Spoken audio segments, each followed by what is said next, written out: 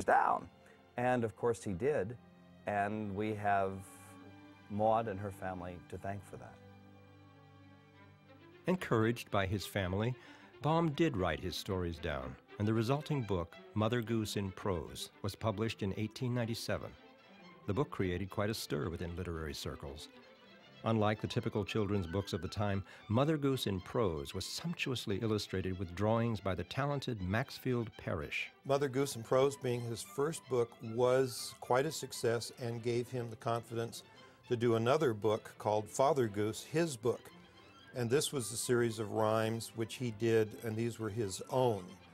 And he was lucky to find W.W. Uh, w. Denslow, who illustrated the book it was absolutely ideal for both of them because Baum had the pictures in his head and put them down with words. Denslow could translate exactly what Baum put on paper. You had the very first Baum and Denslow collaboration, and to everyone's amazement in the United States, it became the best-selling children's book of 1899. Father Goose went into six printings. By today's standard, they wouldn't have been long, but in those days, uh, you know, 50,000 was a big press run. And that really set him as a children's author. As the accolades for Father Goose came rolling in, all of the hardship and struggle began to come into perspective for L. Frank Baum, and at last he could see that his years of fruitless wanderings had a purpose.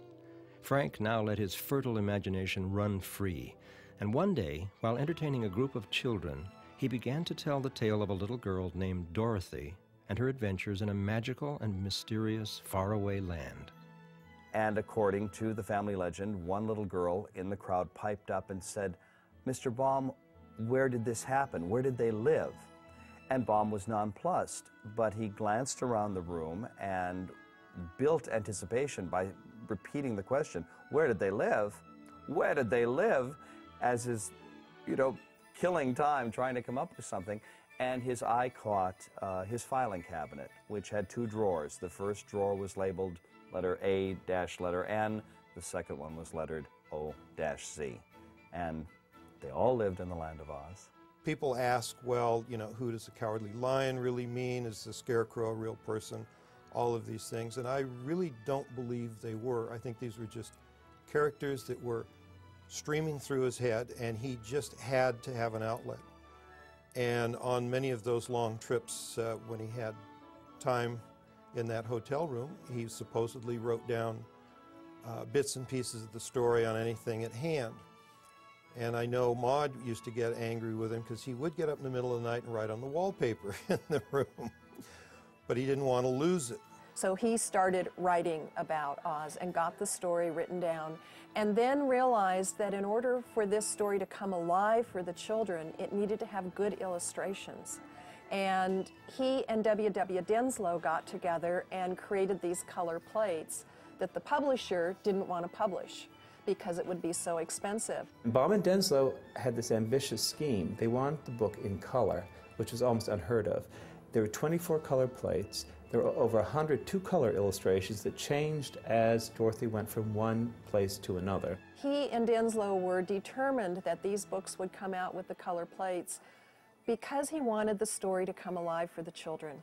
And that's what was most important for him. So they put the money up to publish these books with the color plates, and of course they sold immediately and had to go into a second printing before Christmas, and they had just been out for a few months. To have a book like that in 1900 for children was enormously innovative. 24 full-color plates and 100 line drawings in two colors throughout the book, and designed specifically by Denslow, so sometimes the drawings were underneath the actual type. It was, it was amazing for a children's book to be that elaborate and that welcoming. And this was before there were publicity machines and media hoopla. This book was succeeding on the basis of its strong, strong appeal to children and how it captured their imagination and their dreams. I think the success of The Wizard speaks for itself. The company couldn't keep up with it, and it is one of the most popular books of all time. As far as writing another Oz book, the success, that's great, wonderful. I'm glad people enjoy it. Now I'm going to move on to something else, or so he thought.